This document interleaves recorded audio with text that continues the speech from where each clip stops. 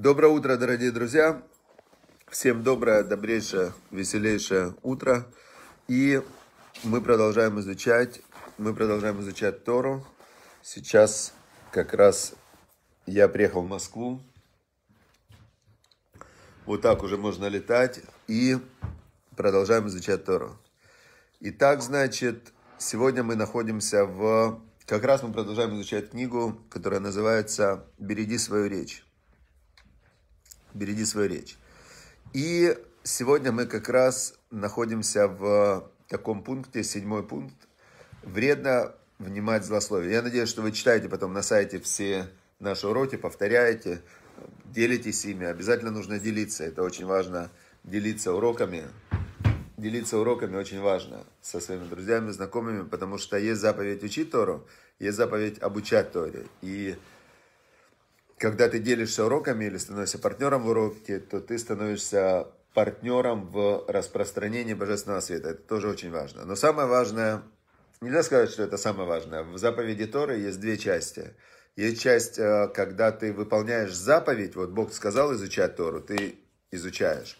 А есть э, Тора, которая потом в тебе остается, то есть знание Торы. И интересно, я слышал несколько раз, вот исследования такие – если, например, один человек другому говорит, смотри, я работаю из Сахара Звулун, а ты учишься, вот тебе, я буду тебя обеспечивать финансово, а ты только изучай Тору. Говорят, что их э, Тора делится пополам. Как Тора делится пополам? Этот знает, этот не знает. Этот э, учит Тору, значит, ну, как бы, как время, как заповедь изучения Торы, вроде бы он выполняет, тот, кто ему дает деньги. Но знаний-то у него нет, это очень такая, там очень много исследований на этот счет есть. Теперь еще раз, э, значит, мы остановились на том, что седьмой пункт – вредно внимать злословию. Звучит он так. Э, бывает, что человек не верит злым рассказам. Он читает э, интернет, статьи и не верит. Бывает, что человек не верит злым рассказам. Бывает, что человек, значит, слушает кого-то и не верит тому, что говорится. Но вред-то есть Прямо вот пишет автор этой книги, Равзелик Плистин, что а, окружающие пытаются загрязнить его сознание. То есть мы уже как определили, что зло, оно похоже на черный дым, на копоть такую, да? И когда ты слышишь даже, слышишь от кого-то злоязычие, у меня был случай, когда прям очень интересно, у меня жена проснулась и говорит, мне снился сон, мне снился сон про какого-то человека, ну, моего знакомого, и он очень плохие вещи делал во сне. И она говорит, смешно, это же сон. И я после этого перестал с ним общаться, представляете? Я с ним перестал общаться, потому что сон-сон, а у меня-то уже в сознании то, что она рассказала, он-то сделал, и у меня уже все, я не могу его нормально воспринимать. Это факт. Это факт из моей жизни. Получается, что именно это похоже на копоть, злоязычие похоже на копоть, которая загрязняет сознание. И говорит нам автор, что делать против злых языков. И вот бывает, что человек как мученик стоит и героически молчит, пока на него выливают ушат злословия, мечтая про себя, когда наконец говорящий молкнет. Но тот, видя, что его слушают, продолжает произносить лошонара и конца этой неприятной беседе не видно. То есть, получается, человек скромный, он думает, ну я же не буду его перебивать. Говорил же царь Соломон, что, значит, э, что тот, кто Мишив давар бетера мишма, тот, кто воз... отвечает до того, когда слушает, и велет илове клима, это ему позор и позор, да, стыд и позор ему. Получается, что стоит такой человек культурный, кто-то говорит лошонара, он думает, подожду, пока он закончит, не буду перебивать. В итоге тот видит, что его слушают, и без остановки пошел-поехал. Начал с одного, с другого правительства, и все вообще, все, все облил грязью. Вот так прям, не то что дымом, а прям черной краской такой, на все вот так вот прямо махнул, и, значит, я не удержался, сегодня посмотрел новости с утра. И такой заголовок, заголовок, значит, а, а, заголовок «Серия Америка дрожит под антисемитскими инцидентами». Там вообще такой заголовок, думаю, все, в страхе какие, посмотрю что. Значит, в Бруклине, в, теперь сама статья, суть. Три человека подъехали к синагоге, стучали в двери, сломали зеркало в машине, припаркованной в синагоге. А потом эти же три человека еще в другом месте там э, что-то кричали, кидали камни. Эти же три человека. Заголовок. Серия антисемитских инцидентов потрясла, захлестнула. Волна антисемитских инцидентов захлестнула Америку. Три человека, три сумасшедших хулигана, которых, ну, понятное дело, они были, есть и будут всегда. И, э, то есть, ну, у меня-то в голове остался след, что волна захлестнула Америку, да, и э, это свойство информации. То есть даже если мы ее слушаем и мы не верим, то получается, что запах-то остался. Знаете, как человек зашел, ничего не покушал, но если там запахом пропитался. Хорошо, так что нам советует автор книги? Значит, надо иметь мужество, говорит он, осадить рассказчика, резко сказав ему, что его речи никто слушать не хочет что у слушателей нет желания слушать о том, чего они сами не видели, или хотя бы показать надо своим лицом, жестом, мимикой, что вам неприятна эта ситуация, что вы испытываете неудовольствие и что пора прекратить злословие. Иногда людям надо дать понять, что клевеща на других, они позорят в первую очередь себя. То есть нужно потренировать выражение лица такое что если кто-то говорит лошонара, злоязычие при вас, чтобы он перестал сразу говорить. То есть можно такое какое-то сделать лицо специальное, потренировать перед зеркалом. Типа вот так вот, да, типа как-то так посмотреть. Вот так вот, чтобы, он от удивления, чтобы он тоже сразу за, замолчал. В этом должна быть некая хитрость такая проявлена.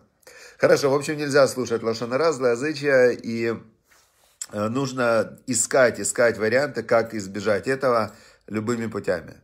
Хорошо, теперь э, дальше я чуть-чуть не могу никак я подойти серьезно, то есть следующая заповедь, повелевающая история, которую мы учим по книге э, «Краткая книга заповедей Хафецкайма», у нас была тидуш освящение субботнего дня, а следующая – это воздержаться в шаббат от работы.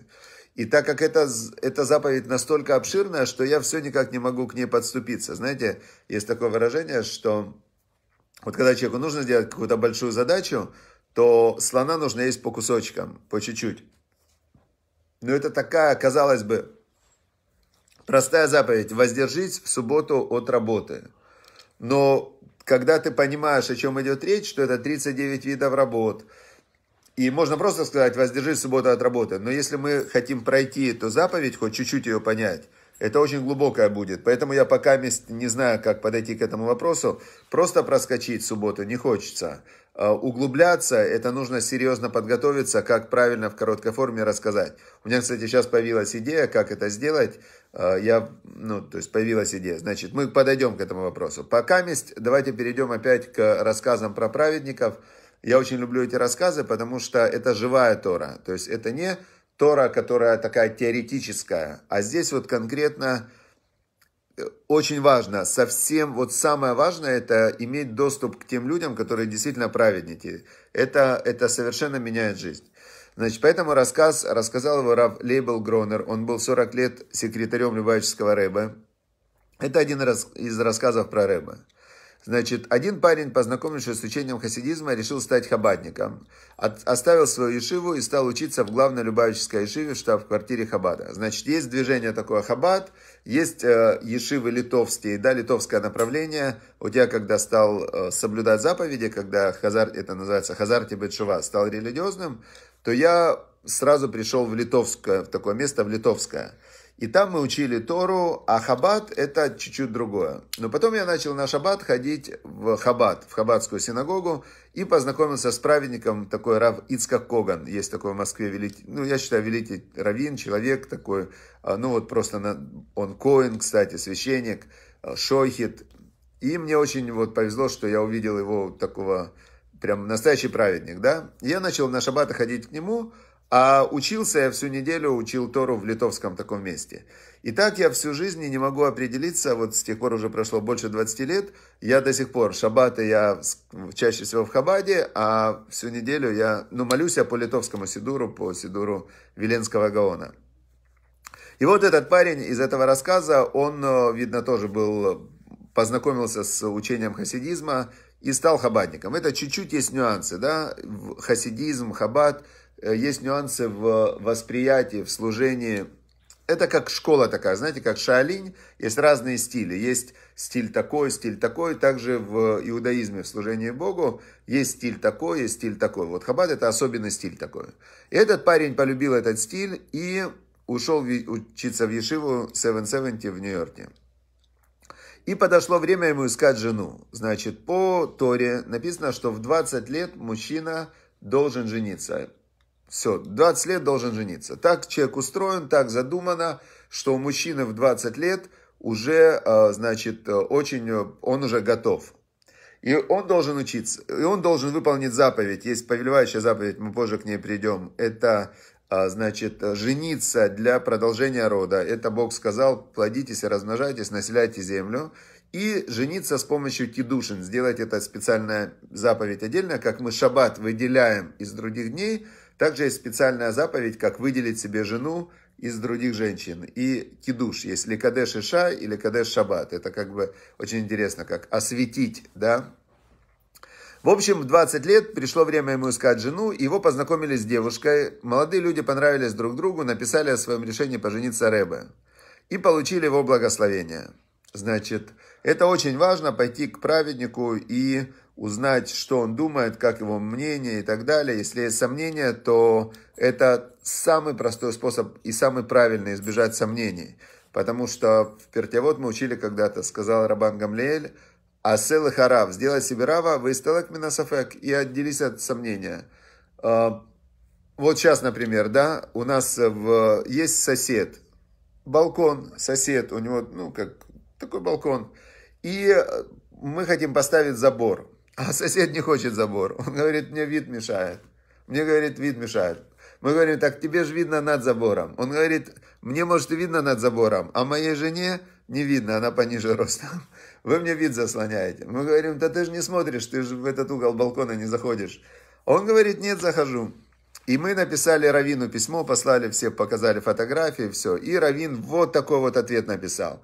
Вот такой ответ написал. Оказывается, вопрос забора между соседями на протяжении последних двух тысяч лет очень много обсуждался.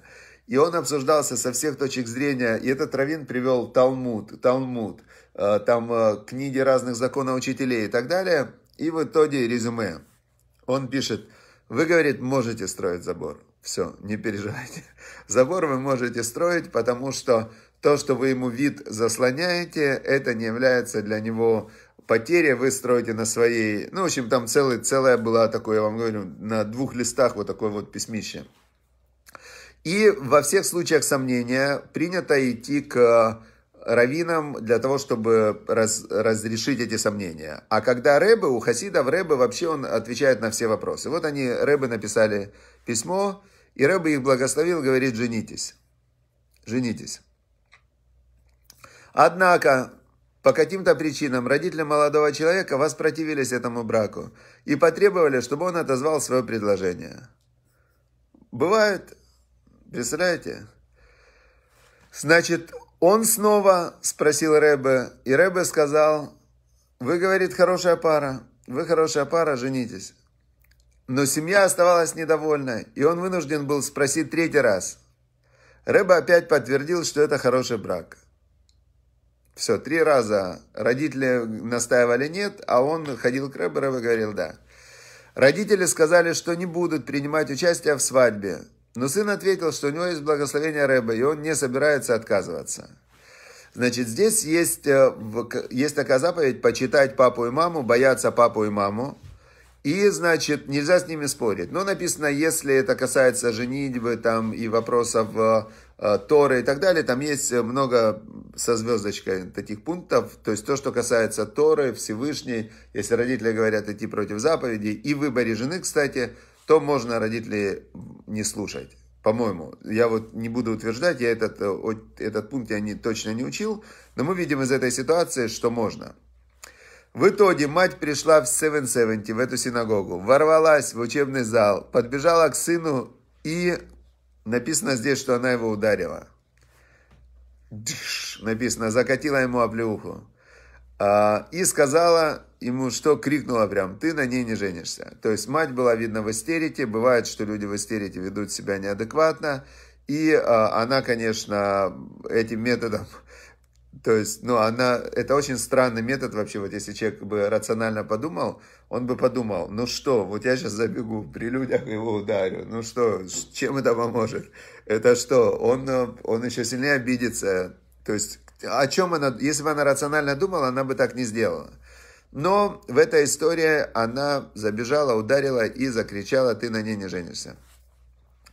Парень промолчал, только он головой покачал, отовлю ей и промолчал. Хасиды вокруг сидели же, все сидят, учат Тору, и видят они эту сцену. И они говорят, «Э, женщина, извините, пожалуйста, обратитесь к Рэбе, пойдите к Рэбе, потому что здесь, ну, как бы, эта ситуация по-другому не решится. Рэбе ему сказал жениться, теперь он послушает только Рэбе. Пошла она к Рэбе, записалась на частную аудиенцию и рассказала все причины, почему, по ее мнению, этот брак плох для ее сына. На что и Рэбе ответил. На небесах есть несколько книг, где записаны все пары – когда ваш сын обратился ко мне за советом, я согласился, потому что не видел в этих книгах никаких препятствий к их браку. То есть увидел, что брак будет хороший. Когда услышал, что семья против, я снова перепроверил эти книги. Так же я сделал и в третий раз. Но не нашел ничего, что мешало бы им пожениться. Поэтому я одобрил этот брак. Услышав такое, мать сразу согласилась. Э, заканчивает Рав Лейбл Гронер, его секретарь Рэбе, он заканчивает этот рассказ так. Рэбе никогда не говорил о своем величии или духовных способностях. Но когда дело дошло до сватовства, Рэбе изменил своему правилу и раскрыл, что у него есть доступ к небесным книгам, на которые он полагается, давая благословение. Равлей был Гронер на протяжении более чем 40 лет был личным секретарем Любавического Рэба. Это интересная история. То есть эта история очень интересная, и мы видим, что э, как интеллект Торы, разум Торы, подход Торы, он может отличаться от, э, от э, общепринятого это раз. Да, общепринятое это такое понятие, знаете, как, как мода. Вот сейчас принято относиться к браку вот так, да, там сейчас и мужчины могут жениться, и женщины друг на друге могут жениться. Почему-то называют тоже это свадьбой. Я, ну, хотя бы придумали бы другое название какое-то. То есть сейчас мода такая, потом там в Индии на козе кто-то женится и так далее, то есть э, кто-то на горе женился, знаете. Ну, то есть как бы вроде бы это, это выглядит как сумасшествие, но вдруг это сумасшествие с подачи, опять же, журналистов, которые... Тут весь вопрос, как ты опишешь это сумасшествие, но мода вдруг, э, рваные джинсы стали модными. Ну, как объяснить это? Ну, вот как это объяснить? Всегда рванье, это было рванье, ну, то есть это было признак, рванье, признак был самой вообще бедности и самого, как сказать, неряшливости, без, вообще такой беспредел, да, рваные вещи, ходить рваным. Вдруг стало модным. И идешь по улице, смотришь, каждая модная девушка, да, она рваная, вся в рване таком. И а, старые вещи раньше выкидывали на мусорку, а сейчас берут новые вещи и их состаривают. То есть норма это что-то очень такое растяжимое, да. Теперь а, в взгляд Торы на мир, он, он он такой, какой он есть, да. Теперь э, Рэбе, Рэбе, это есть люди, которые там, они видящие. Видящие или они видят какие-то вещи, которые другие не видят. Теперь весь вопрос в том, э, верить в это, не верить, как к этому относиться. Но опять же, человек живет, каждый человек живет в мире своей веры. И в итоге вот вера в праведника, вера в добро, вера в Тору, она, в принципе, ну, с моей точки зрения, я как бы постоянно изучаю, изучаю, как, э, какие есть варианты мировоззрений, но я вам скажу так, что мировоззрение Торы – это самая четкая, выстроенная, понятная, э, логичная, рациональная система, которая только существует в мире. Даже этот рассказ, он тоже максимально рационален, потому что, потому что кому жить с этой девушкой? парню жить с девушкой. И то, что он три раза ходил к Рэбе спрашивать, и он все-таки очень хотел жениться, потому что идти против семьи, идти против, я сейчас рассуждаю с рациональной точки зрения, идти против семьи, идти против мамы, семья отказывается помогать и так далее, то есть это показывает, что он очень любил эту девушку. Тут даже речь не в том, что Рэбе сказал, то есть понятное дело, что если бы и родители, и Рэбе сказали бы, что нельзя жениться, возможно, он бы, я не знаю, что было бы, да, тут нельзя предположить. Но мы видим его желание, что он три раза шел, значит, а это, это фундамент для прочной семейной жизни. То есть, когда человек так хочет жить именно с этой женщиной, то это может быть фундаментом для, для того, чтобы у них была хорошая семейная жизнь. Все, удачи всем и успехов, всем хорошего дня. И желаю каждому найти своего равина, советоваться, попробовать. Вы можете на портале Ваикра, вы можете, прямо мы сейчас сделали специально, мы очень хотим сделать так, чтобы у каждого преподавателя Торы появились э, те люди, которые поддерживают его, его урок. И вы можете конкретно поддержать любого преподавателя Торы, написать лично ему, э, сделать его своим равом. Написано «Оселых рав», «Сделай себе рава», то есть назначь себе рава, ты сам выбираешь, с кем советоваться и попробуйте, попробуйте найти себе вот такого духовного э, наставника, советника и, э, значит, станьте с ним партнером в распространении Торы. Все, удачи, успехов, хорошего дня, до завтра.